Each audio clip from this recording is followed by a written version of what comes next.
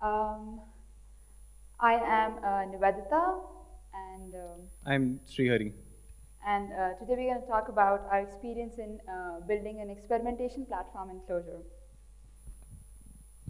Um, so we're both from uh, Nilenso, and Nilenso is um, a software cooperative uh, based in Bangalore.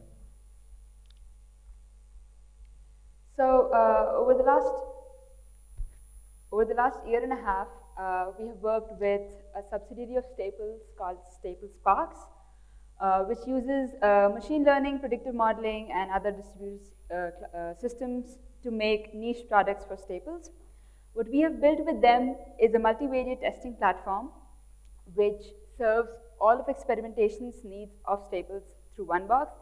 These are some magnitude of data and uh, sessions to give you an idea and perspective for the rest of the talk.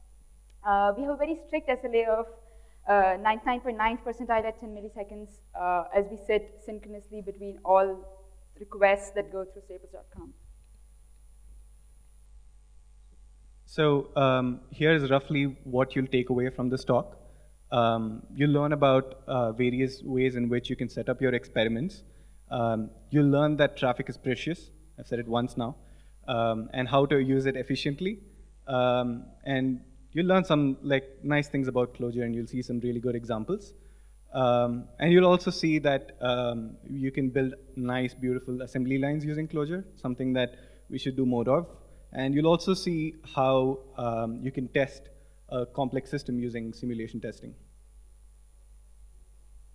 So this, is, this would be the overall structure of the talk. Uh, we'll spend some time explaining in brief the domain of experimentation, especially in context of the app we have built. Uh, then we'll go into the implementation details of the app, and then we'll talk about how we tested the app using simulation testing. Uh, so the first portion of the talk, uh, the domain itself. Science. Uh, so the scientific method has been in use by humans since the 17th century, where we propose a hypothesis, test it, do some measurements around it, and then based on the measurements that we did during an experiment on that hypothesis, we say the hypothesis was correct or incorrect. Experimentation is a step in the scientific method which lets us prove, uh, compare two competing hypotheses. So for example, the most common example would be a vaccine trial where you could divide your target population into two groups of control group and treatment group, where the control group doesn't get any vaccine or gets a vaccine that is already there in the market, and the treat test group would get, get the vaccine that you're trying to put in the market.